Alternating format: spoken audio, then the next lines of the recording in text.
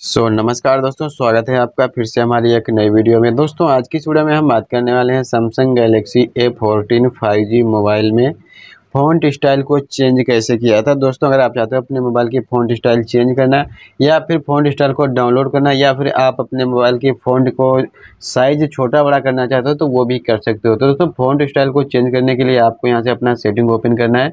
अब setting open करने के बाद आपको डिस्प्ले में आना है, इस पर क्लिक कर देंगे। इस पर क्लिक करने के बाद दोस्तों, आपको थोड़ा सा नीचे आना है तो यहाँ पे आपको फ़ॉन्ट साइज़ एंड स्टाइल का ऑप्शन मिलेगा, इस पर क्लिक कर देंगे। तो दोस्तों, यहाँ से आप फ़ॉन्ट का साइज़ भी छोटा बड़ा कर सकते हो। यहाँ पे देख सकते हो कि हमारा जैसे जैसे यहाँ पे घटा बढ़ा रहे तो फ़ॉन्ट का साइज़ छोटा बड़ा होता जा रहा है। तो यहाँ से आपको अपने हिसाब से फ़ॉन्ट का साइज़ रखना है। अब आपको चेंज करना है फ़ॉन्ट तो यहाँ पर फ़ॉन्ट स्टाइल का ऑप्शन मिलेगा, इस पर क्लिक कर देंगे। इस पर क्लिक करने के बाद दोस्तों, यहाँ पे आपके मोबाइल में पहले से ही फ़ोन रहेंगे। यहाँ से भी ये जितनी भी दिख रहे हैं, यहाँ से भी आप अपने मोबाइल में फ़ोन सेट कर सकते हो। अगर आप डाउनलोड करना चाहते हो, यहाँ पे डाउनलोड फ़ोन का ऑप्शन मिलेगा, प्लस के ऑप्शन पे क्लिक करना है।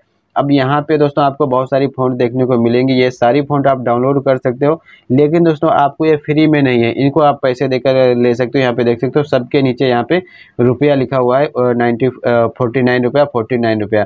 दोस्तों फ्री में एक भी फ़ोन नहीं है तो आपको यहाँ से अगर डाउनलोड करना है तो यहाँ से डाउनलोड कर लेना है रुपया देके। अगर आपको नहीं डाउनलोड करना है तो यहाँ से आप लगा सकते हो, यहाँ से सेट कर सकते हो।